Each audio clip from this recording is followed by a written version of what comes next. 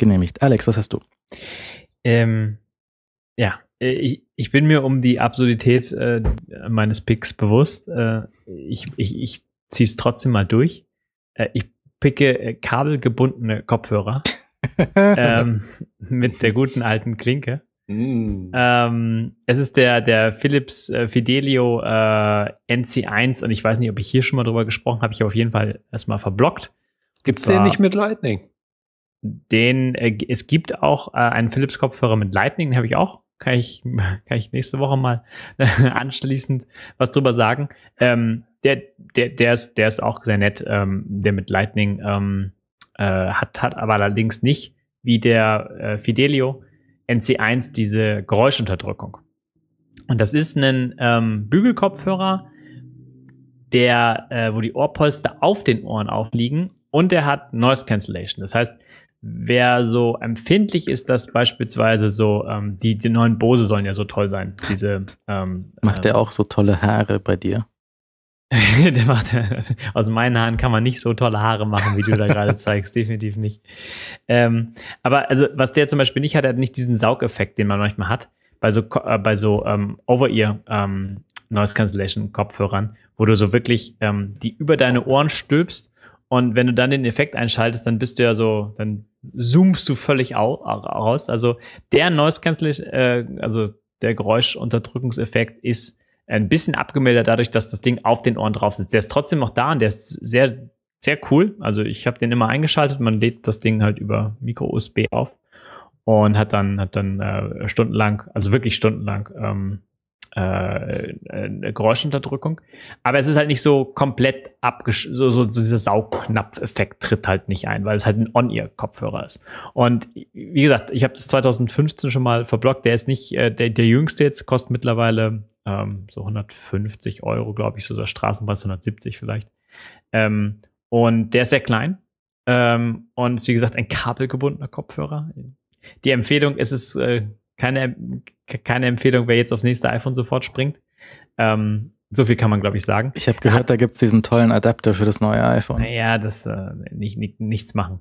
ähm, er hat eine, eine, eine äh, Siri-Steuereinheit, ähm, die, die sehr, sehr schön ist, die allerdings ähm, äh, keine laut-leise-Tasten hat, sondern wirklich nur die, ähm, die Wiedergabe pausieren kann, Siri aufrufen kann und ein bisschen halt über die Shortcuts in der Podcast-Wiedergabe beispielsweise nach vorne springen kann und solche Geschichten. Und es halt, ja, es halt, der lässt sich halt klein, klein zusammenfalten. Und äh, ich habe den jetzt mal wieder irgendwie seit ein paar, paar Tagen auf und ich bin also es ist schon echt ein schöner Kopfhörer. Also es ist äh, für, für, für den Preis, den, der, der, für den er mittlerweile hergeht, denn der ist leicht und wenn man halt einen Kabel gebunden sucht, schwieriger Zeitpunkt, ich weiß, ähm, dann ist das eine, eine, eine sehr schöne Option. Der ist auch irgendwie robust in so einem Case. Wie gesagt, lädt man über Micro-USB, um den, diese Geräuschunterdrückung zu haben. Ansonsten ist es halt ein kabelgebundener Kopfhörer. Ähm, hat eine simple Taste, das ist die Noise Cancellation Taste. Und ja, also ich, äh, ich mag ihn sehr und äh, macht immer noch irgendwie Spaß. Und äh, ich kann ja gerne mal den, meinen, ähm, meinen Bericht von, von damals verlinken.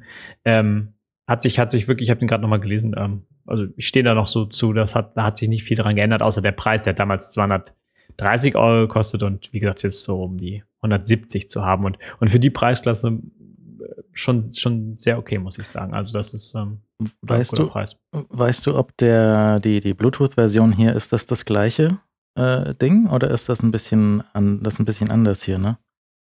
Die Fidelio Bluetooth-Version. Ja, die, die, ähm, die Bluetooth-Version interessant. Also die Ohrpolster sind ein bisschen anders, wie du hier, hier siehst. Mhm.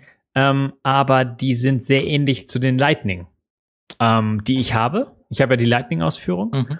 Und wie ich das da im Bild sehe, ähm, die liegen sehr, äh, sehr streng auf, ja, also sehr flach.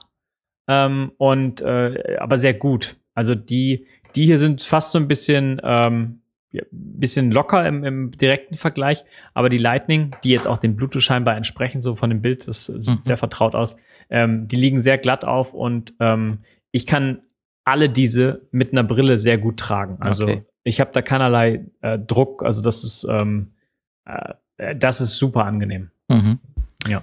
Okay. Ja, vielleicht genau, vielleicht vielleicht äh, vielleicht die Empfehlung nehmen und abwandeln in oder sich mal die Bluetooth-Version anschauen. Kann ja, kann ja durchaus äh, nicht schaden, aber ich kann jetzt nur über die Kabelversion sprechen und über die Lightning-Kabelversion, die ja auch irgendwo rumliegt. Ähm, und ähm, genau, also das, äh, ist eine, das ist eine definitiv gute, gute Marke für einen jetzt noch, also für einen, kabelgebundenen Kopfhörer am Park.